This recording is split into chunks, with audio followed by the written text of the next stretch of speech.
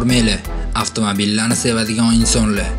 Man sizlarga hozir eng moshni eng tez komforti oliy darajada bo'lgan audi ishlab chiqargan maxluqlar haqida gapirib beraman. Bu avtomobillar audi kompaniyasini dunyodagi kuchli avtomobil ishlab chiqaruvchilaridan bittasi qilishga sababchi bo'lgan. Mani ismim shahzod.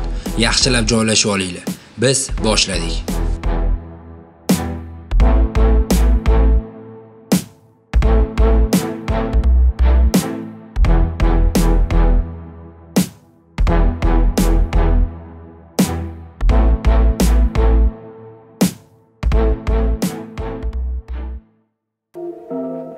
Polna Privet Audi tarixini boshlanishi bir ajoyib voqeadan boshlangan.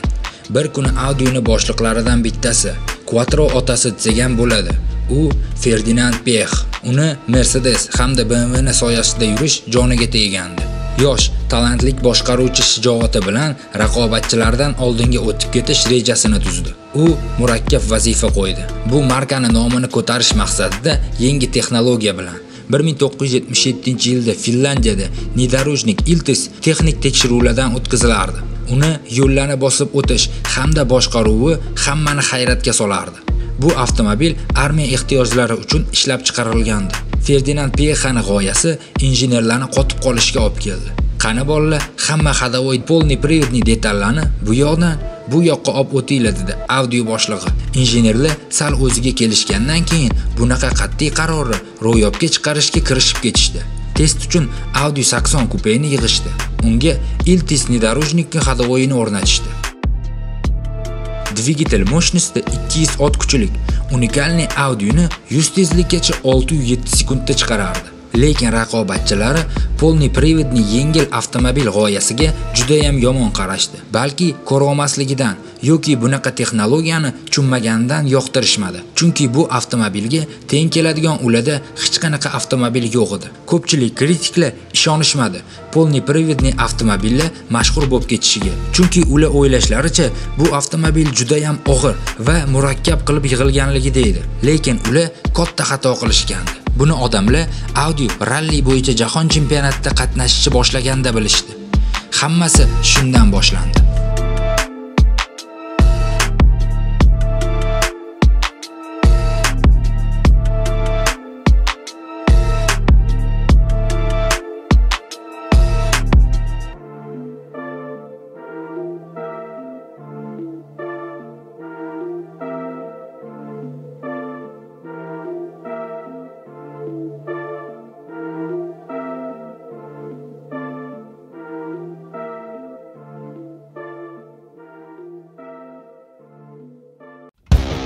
1981 yil boshida yanvar oyidagi avstraliyada birinchi poygasida finlandiyalik poygachi xuan mikola eng yaqin raqibidan 9 minutlik o'zib ketish bilan g'olib bo'ldi.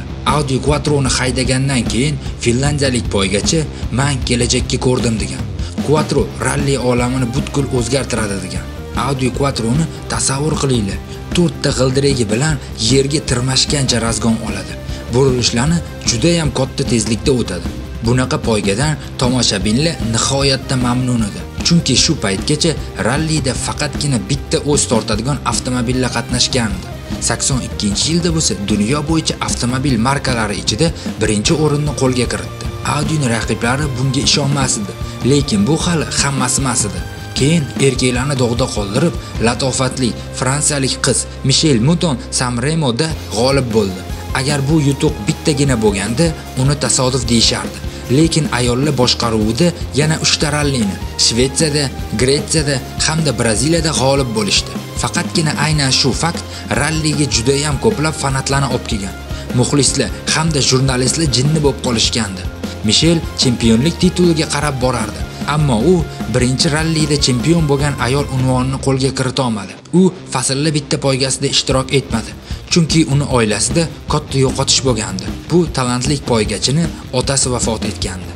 82-yildan 84-yilgacha Audi Quattro ralli bo'yicha 4 ta chempionlikni qo'lga kiritdi. Va bu juda ham ajoyib bo'lgan hodisani hali ham esdan chiqarishgani yo'q. Hozirgi kunda bunaqa avtomobil kolleksionerlarda 80 ming dollar atrofida turadi.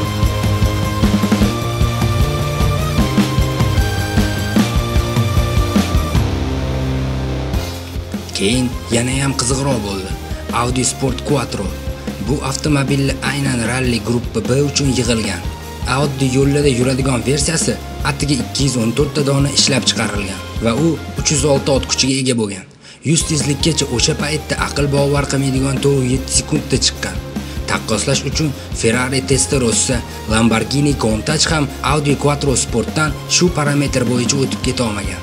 Uni yengillashtirish maqsadida eshiklaridan tashqari hamma kuzov elementlarini plastikdan yasalgan. Arallida jang qilish uchun Audi Quattro Sport bo'lsa, moshnisti 455 ot kuchi bo'lgan. Lekin hatto bu ham rekord bo'lmagan. Keyingi yil Audi butun ralli avtosportidagi eng jahldor maxluqqa yaratishdi. Bu Sport Quattro S1 hech qachon ralli avtomobillari bunaqa tez bo'lishmagan 550 ot kuchi 1 tonna 900 kilogrammga o'ylab ko'ringlar azizlar. Bu maxluqqa qanaqa qilibdir asfaltlik yo'lda ushab turishni iloji bo'lsa qanaqa poygachi bo'lishi kerak? Bunaqa ot kuchini qumda yoki muzlik sirpanchiq yo'lda uni boshqarish uchun Walter Royal o'sha paytda ralli poygachilaridan eng zo'ri bo'lsa ham Audi Quattro S1 haqida shunaqa degan. Bu balitni boshqarayotgan paytimda man juda ham sekin o'ylayman bu avtomobilni tezligida. Yana boshqa Han Mikelsdan S1 razgoni haqida so'rashganda u javob berdiki tasavvur qilib ko'ring siz svetoforda turibsiz. Qachonki uni sariq rangi yonganda siz motorni 8,5 ming оборотga chiqarasiz. Yashil rang va siz siplenlarni qo'yib yuborasiz. Tezligi shunaqaki orqangizdan 5 tonnalik katta avtomobil urilgandek bo'ladi. Bu avtomobil juda ham tez hamda nihoyatda xavfli bo'lgan. Aynan shu ralli balitlari juda ham moshni bo'lib ketganlari uchun B guruhini yopishdi. Ular nihoyatda tez bo'lishgan. Hamma ralli poygachilari ham ularni boshqara olishmagan. Ayniqsa muz qoplamda shuning uchun o'limlik holatla poygachilar hatto muxlislarning orasida ham bo'lib turgan. Rallini obro'si bo'lsa aql bovar qilmaydigan balandlikka ko'tarilib ketdi. Muxlislar katta tezlikda oldidan o'tib ketayotgan super bolidlarni ko'rib maftun bo'lishardi. Deyarli har doim alohida yo'llarda poygachilar ko'p muxlislardan iborat koridorlardan katta tezlik bilan o'tishardi. Qaranglar buni qanaqa bo'lganini. Bunaqa aniqlik bilan boshqarish faqatgina afsonaviy B guruhi poygachilarini qo'lidan kelardi bunaqa avtoni narxi 110 ming dollarni tashkil qiladi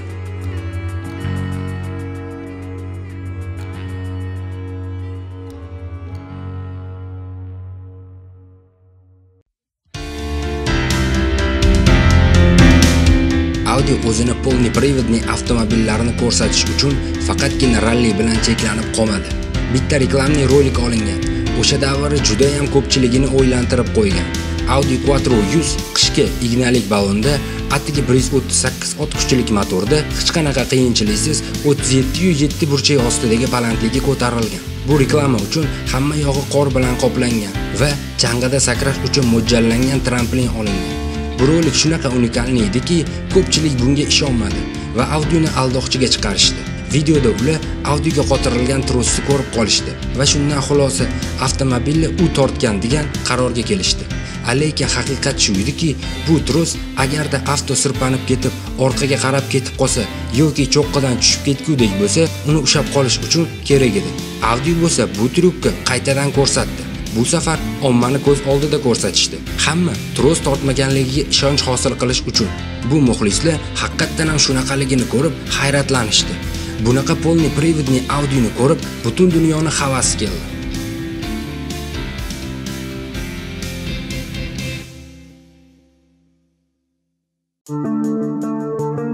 Bu vaqtga kelib Audi chempionatlarda yutishda davom etardi. Bu safar ular amerikaliklarga polni Privetni ko'rsatib qo'ymoqchi bo'lishdi. Audio Amerika poygasi Trans-Up seriyasida qatnashdi. U yoqda avtomobillarni cho'tkilari Chevrolet Corvette, Chevrolet Camaro, Mercury Capri, Ford Mustang, Pontiac Fairbolt Amerikani kuchli bo'lgan V8lar edi. Bu poyga uchun 3 ta Audi 200 Quattro tayinlangandi. Dvigitellari 530 ot kuchiga ega edi. Nima deb o'ylaysizlar do'stlar? Ular u yoqda ham hammani to'g'da qoldirishdi. U yoqda Audi'lar 14 ta poygada qatnashdi hamda chempionlik titulini ham qo'lga kiritishdi. to'rt taraf tortadigan audio texnologiyasi tashkilotchilarni shunaqa qo'rqitib yubordiki, keyingi yillarda poygalarga faqatgina bitta o'zi tortadigan avtomobillar kiritildi. Amerikaliklar shokka tushgandi. Audilarni oldinda yurishidan. Bu trassalar hattoki bir necha yilga boshqa avtomobil ishlab chiqaruvchi davlatlarga yopilgandi. Muscle carlar uchun eng ayanchlisi v8 dvigateli bo'lib turib 5 ta silindrlik turbinalik audilarga yutqizishganida edi. Aytishadi-yu kichkina demang bizni ko'tarib uramiz sizni deb xuddi shunaqa holat bo'ldi.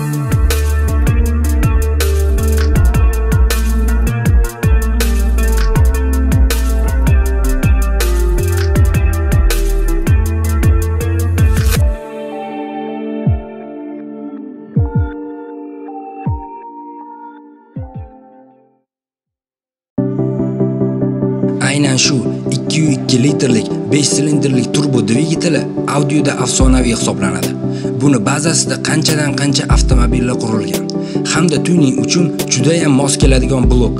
Aynan shu dvigatel bilan 1988-yilda afsonaviy Audi 200 Quattro turbo chiqqan. Bu top versiyaga Audi 100 ismi berilgan. Bu avto Audi 100 dan mustahkamroq hamda 5 silindrlik in moshli dvigateli bilan jihozlangandi. SSRda bo'lsa bu avtomobilni erkalab sigara deb ham atashgan. Chunki bu avtomobilni kichkinaligi hamda biznes klassiga qarab shunaqa deyishgandi. A0 dan 100 tezlikgacha standartni 220 ot kuchlik dvigateli bilan 7,5 sekundda chiqqan. Bu dvigatel ham juda ham tuningga to'g'ri keladi. Uni 600 ot kuchigacha chiqarsa bo'ladi. Shu uchun ham oddiy yo'llarda polni privodni, effektni va effektivni avtolarni uchratish mumkin bo'lgan.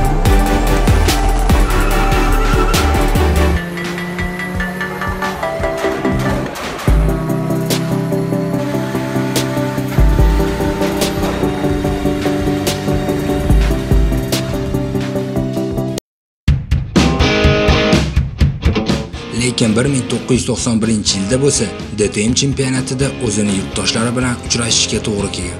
U yoqda u juda ham kuchli bo'lgan BMW va Mercedes bilan ko'rishgan.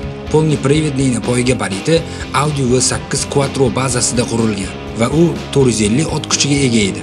Audi'ni poygachisi Hans Joachim Stuck mana nimaladigan Audi V8 Quattro haqida. Men poygaga V8 Quattroda qatnashishimni bilganimda, men ikkilanib qoldim va so'radim: biza qanaqa qilib bu limuzinda BMW va Mercedesdan o'tib keta olamiz deb. Uni boshqarish nihoyatda qiyin edi. Menga bu poygada maksimum kuchim va butun bor tajribamni ishga soldim. Boshida u juda ham og'ir edi. Biza uni yengillashtirish ustida ish olib bordik hamda moshnosti bilan kurashdik. Shinalari ham ensiz edi. Sirpanib ketmasligi uchun boshqarishda juda ham ehtiyotkorlik bilan boshqarish kerak edi. Lekin kunlar yomg'irli edi. O'sha yillarda yomg'ir tez-tez yog'ib turardi. Polni prividniga teng keladigani yo'q edi. Chempionat, yutuq yana polni prividni Audiga nasib qildi.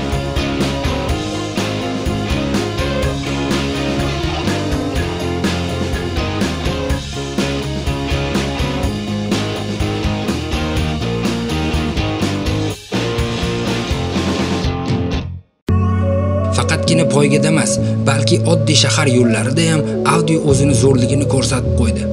1993-yilda Audi hamda Porsche bilan birgalikda ishlashgan RS2 Avant versiyasi chiqqan. Raqobatchilari boshlarini egishdi. Ikkita taniqli Germaniya avtomobil ishlab chiqaruvchilari hammaga tuning nimaligini ko'rsatib qo'ymoqchi bo'lishdi. Polni privat va o'ldirib bo'lmaydigan 5 silindrlik turbo dvigatelni 315 ot kuchigacha kuchaytirishdi. RS2 Avantani 100 tezlikgacha 5.4 sekundda chiqadigan qildi. O'sha paytda M3 100 gacha 508 sekundda chiqardi. Hamma sevgan M5 507 sekundda chiqardi. Juda ham taniqli bo'lgan W124 Valchok ham o'sha oralig'ida chiqardi. 100 tezlikgacha RS2 dan faqatgina Porsche 911 Turbo hamda Lamborghini Countach va Ferrari Testarossa'dan orqada qolardi. Lekin xo'l trassada o'zingizlar bilasizlar, polni privedni RS2 ga umuman hech kimni aqli yetmagan. Audi katta sedanlarni yaxshi ko'radiganlarni ham xursand qildi. 1996-yilda juda ham cho'tki bo'lgan S8 V8 dvigateli 340 ot kuchlik bilan chiqdi. Bu komfortnikimi 100 tezlikgacha 5.5 sekundda chiqardi. Shu bilan birga sizni sport avtomobillarida yo'q shohxonalik qamrab turardi. Aynan shunaqa avtomobil Ronnie filmida ham chiqqan. Ларри, скажите, Винсент, то, что вам нужно. Скоростной автомобиль Audi S8. Нужна машина пошустрее. Сегодня днем она у вас будет. Bu juda ham zo'r va butun kino olamida eng yorqin ta'qib qilish deb hisoblanadi. Filmda S8 o'zini hamma tomonlama ilg'orligini ko'rsatgan va hamma kam litrlik avtomobillarni urib yo'ldan chiqarib yuborgan. Juda ham ajoyib avtomobil.